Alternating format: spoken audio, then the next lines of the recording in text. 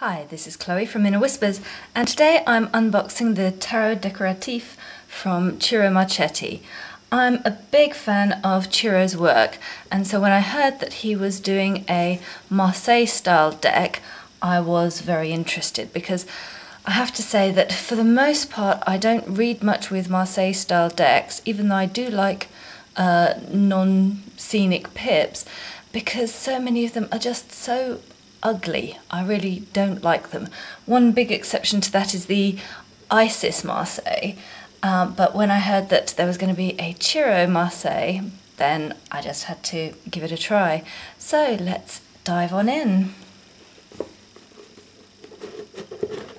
It comes in this very big box and uh, it's quite simple. Ooh, gold paper. Ah, wow, okay. And I hadn't realised that. There's a bag inside. Um, beautiful bag with the suit emblems on it. Very nice feel to it. And on this side, the same image that was on the box as well. And inside that, here we have the cards. They are big. They're sort of, yeah, they're just about holdable, but you can't, I can't hold the whole pack. Um, so let's go through them. Here's the title card, signed one, and the titles are all in French, very traditional. But already you see the kind of depth of colour and the playfulness of them, with the Fool, Le Bateleur, La Papesse, the High Priestess, L'Impératrice. So, oh, and uh, it's lovely, even though you've still got these quite blocky colours, blue and red with yellow, so very traditional in that regard. They're so beautifully done, the fall of the material, it feels really sumptuous. Um, likewise here, once again, you know, he's all in blue, so it's a lot the traditional, just straight up blue, red and yellow of the Marseille decks, but done in a very attractive form. I really am liking the kind of stained glass window effect behind them. Um, the lovers, l'amoureux, chariot, and there's something. Hmm, wow, the horses there are absolutely fabulous. La Justice. There's something about the faces that feels different to me to his other decks. They feel, I don't know, can't put my finger on it currently. La roue de, la, de fortune, la force. Absolutely lovely. I'm really enjoying these images.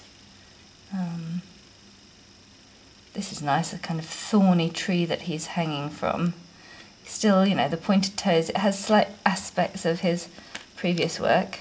And, uh, you know, death, with no title, which was very traditional. Nicely done. Skull, the scythe, and the little growing plants there. Temperance. a much less sexy devil than some of his past ones, but that fits well with Marseille tradition. Uh, La Maison Dieu, the House of God. Oh, beautiful star. And I like the horses were similar to this, and and now the dogs they have this kind of thin elegance to them, and they look almost metallic. I mean, they're silver and gold, but they really do have a metallic aspect to them. So the ugly kids in Le Soleil are still kind of what can you say? Le Jugement and Le Monde. Here we have the ace, and we do have a little dragon, which is one of Ciro's kind of signature pieces. Two of wands. So we've got the two, and then we do have a view in between to. So it's not totally a non illustrated pip, and yet the suit elements, the suit emblems, do dominate the card, shall we say.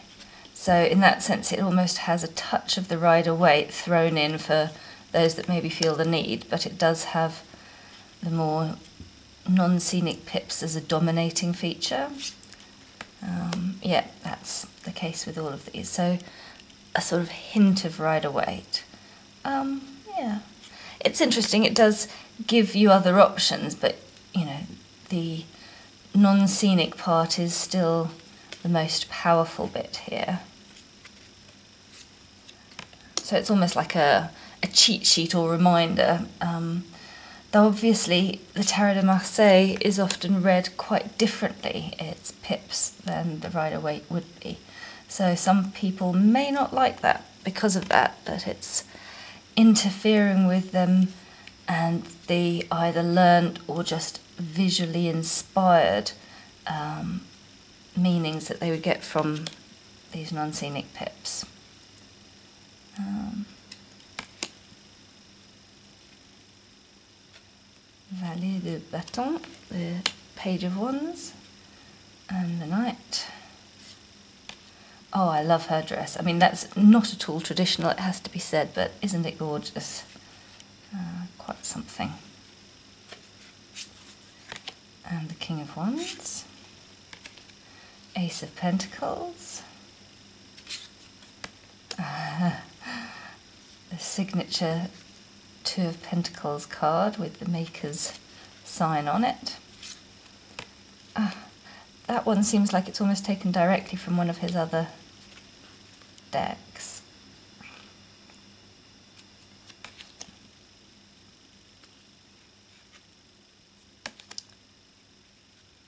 Five of Pentacles, Six of Pentacles. Interesting.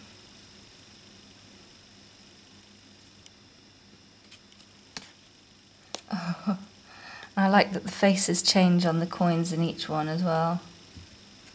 So yes, it seems like he's kind of taken aspects from some of his other decks.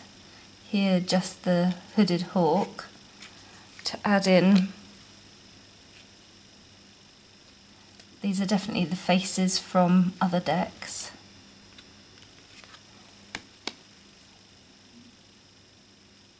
This Valet de Denier has a quite cheeky look to him.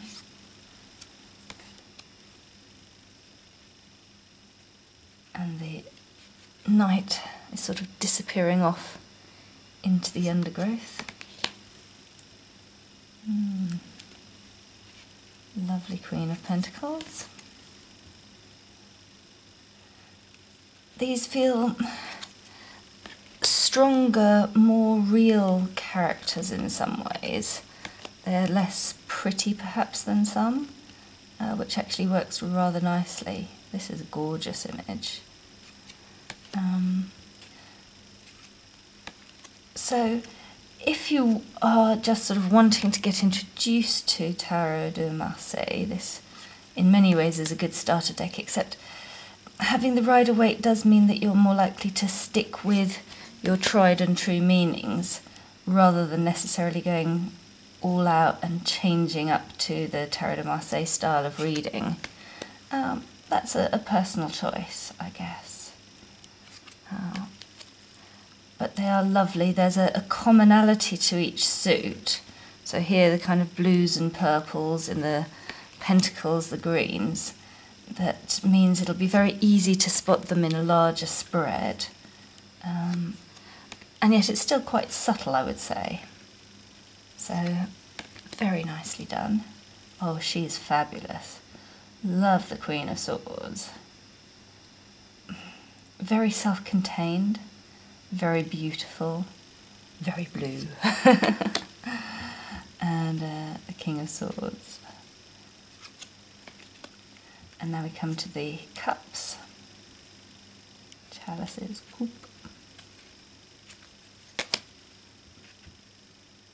So some of these faces are not ones that I recognise, whereas a lot of them are. Um,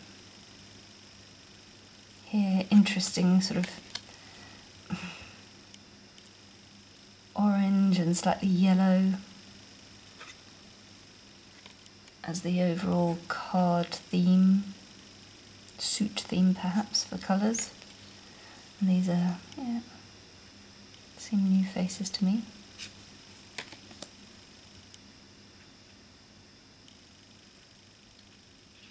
Seven of Cups with a Dream Palace.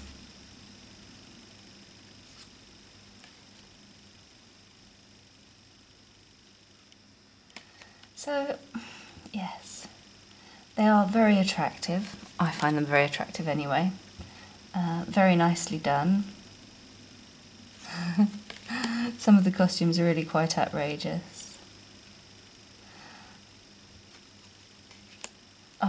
That's another fabulous one. The Queens really do get some excellent costumes in this deck. And finally, oh, a very interesting King of Cups. His clothes, very elegant, and yet, yes, there's something there that he is in black underneath. Heart of Darkness or Black and White Emotions. Very interesting. So let's have a look at the deck as a whole, how it shuffles and feels. As I've said already, the cardstock is fairly thick. The backs are fully reversible. Um, so you can't hold, I can't hold the deck in one hand. It will sort of drop out. Uh, but let's give it a riffle, see how that goes. So it riffles pretty well. Um, and for hand over hand, we can do it this way. There's, they're not over slippy. Um, if anything, I'd almost not mind them a little bit slippier, but they're not bad. I'm not hugely keen on such thick cardstock. Some people I know like it because they feel it it sort of seems more durable. Um, I've got quite a lot of decks that are far thinner than that and have lasted me well over a decade, so... But yes, they do shuffle fine. Um, yes. And a first little draw we have Three of Pentacles, a craftsman working on his craft. That's certainly something that Ciro has done over the years. And uh, I guess with this, it sort of says, get to work on your Tarot de Marseille meanings. Learning something new is, I think, one of the reasons why lots of people are moving into Tarot de Marseille at the moment to have a new challenge, a new way of applying their cartomantic craft. Blessed be.